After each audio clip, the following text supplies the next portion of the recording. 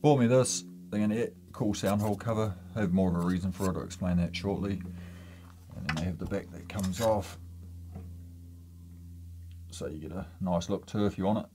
And um, I'm gonna chop it up at some stage. But yeah, sort of like put feedback, happy as, couldn't complain. Then I went to put it in the guitar and it was like, oh no, it's not gonna fit. And it wouldn't.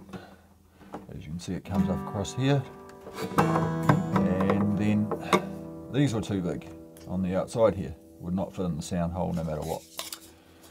So that's all right. Get that part over so in the end I was like oh well got to fix this.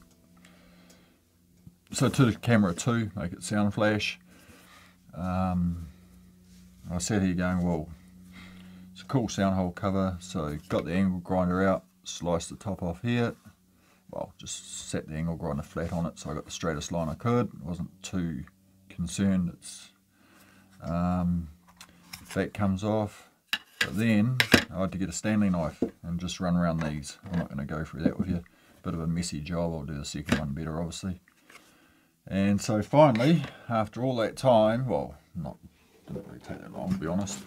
I finally got it so it would sit on my guitar. And I was a happy chappy and it's probably going to call me a liar now and it does sit in there.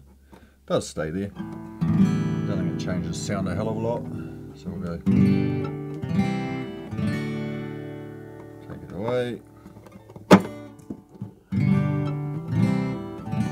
And if we put the backing on it the idea is it's based on not getting feedback. Oh just if it's round, if it was square I would have lost it in the hole. Chuck that on there. So we're going to have a bit of leakage there, but I don't really need it for that. Maybe I shouldn't have taken it down quite so far, but...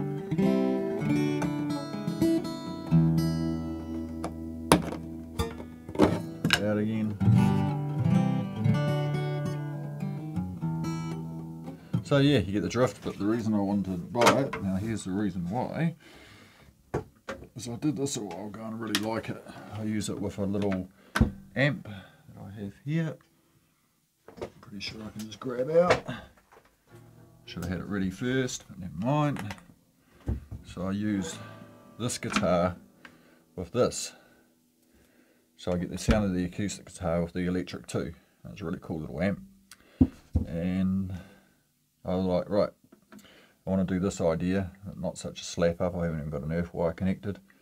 And then went, well, why not modify one of these? So that's the next video, but just the point, you're going to buy these, expect to have to make a few adjustments. I'm not saying they're bad, it's, you know, it's sort of, all guitars are made differently.